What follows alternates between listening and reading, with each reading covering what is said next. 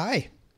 Um, we recently had our Insum hackathon, and the theme was to use an Amazon Echo or an Amazon Alexa. And I wanted to showcase a project. What we did is um, we connected our internal timesheet system InTime to Alexa.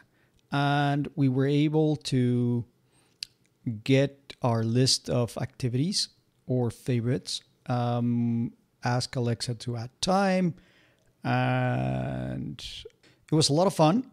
Uh, it was very hard. It was a lot more interesting than we first thought it was going to be.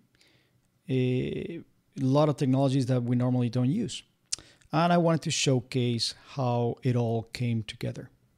What you're seeing here is InTime. You can see uh, Alexa here in the video. And I'm going to unmute and we're going to get it going.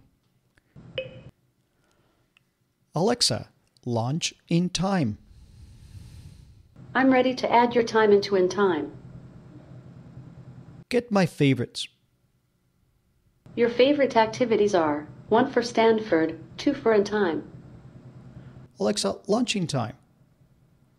I'm ready to add your time into InTime. Add two hours to favorite one.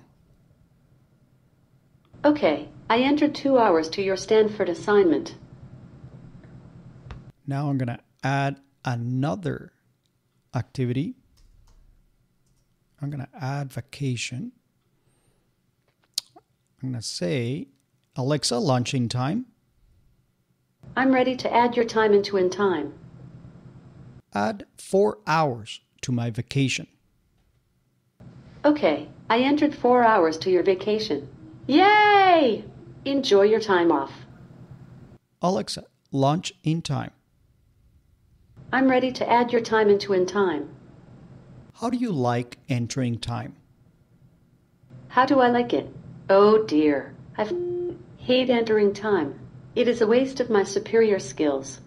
I rather join the developers and code in Apex. And that is it.